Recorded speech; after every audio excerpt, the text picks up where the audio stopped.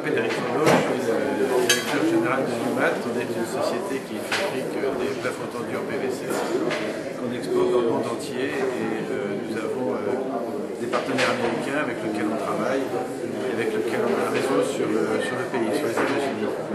Alors je suis là en tant que conseiller du commerce extérieur de la France dans le cadre euh, du symposium mondial. On participe à plusieurs événements.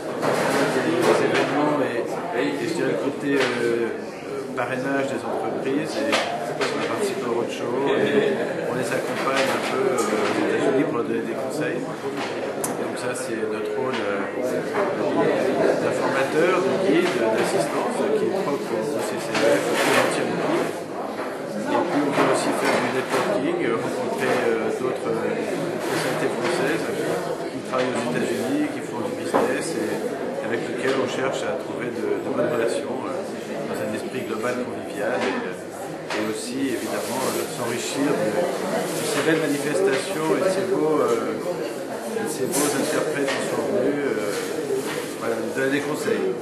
Très bien.